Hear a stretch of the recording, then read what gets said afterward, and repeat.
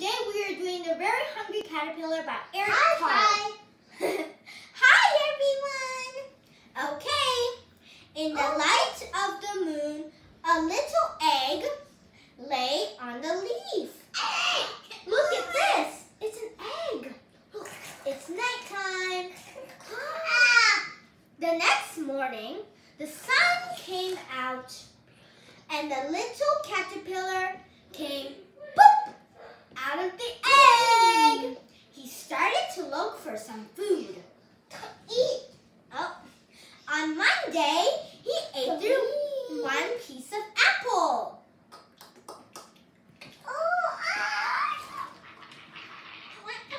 Hey, give it to me.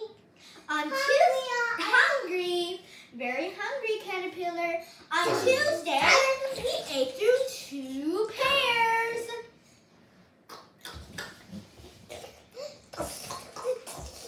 Our pears.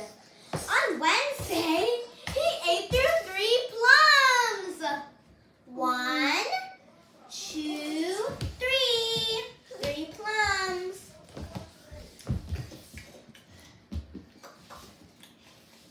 On Thursday, he ate through four strawberries.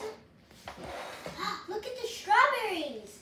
Look, one, What's two, this? What's three. this? It's a watermelon. What's Four. Look! Yeah, on Friday. Look! he- Look at the map! Yeah, it's a watermelon. Okay, sit down, please. On Friday, he ate through five oranges. Look at the oranges. It's very yummy and juicy.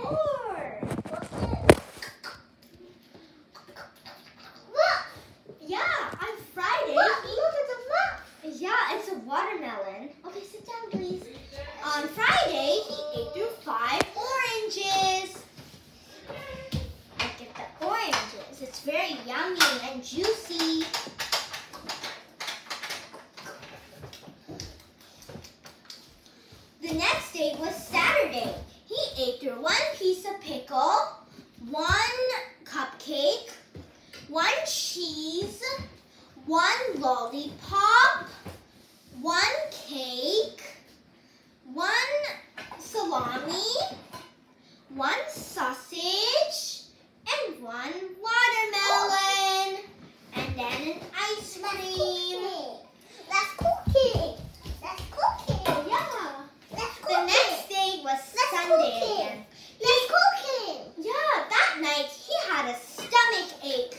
He ate through one piece of nice green leaf. He felt much better.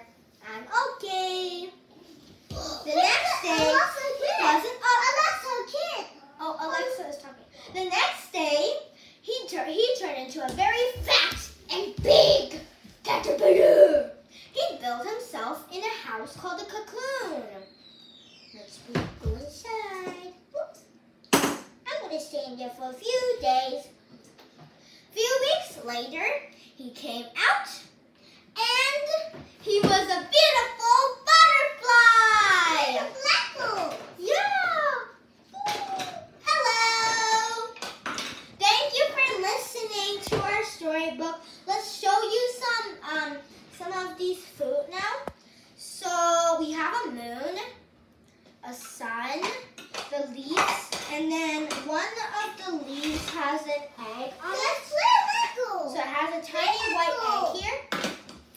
And then there's this butterfly, some of the food, and then we also have the cocoon. This is a very cool part because you can put the fat caterpillar inside the cocoon like this. So you can put it inside and it fits. And then, see look, it stays in there. So it's really cool, right Carson?